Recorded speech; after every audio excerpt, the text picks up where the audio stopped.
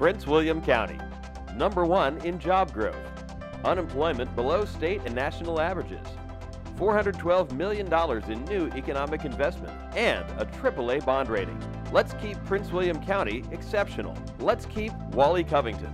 I'm Wally Covington, your Brentsville District Supervisor, and I need your vote on August 23rd to keep Prince William County exceptional. Vote Wally Covington August 23rd. Hard work, real results.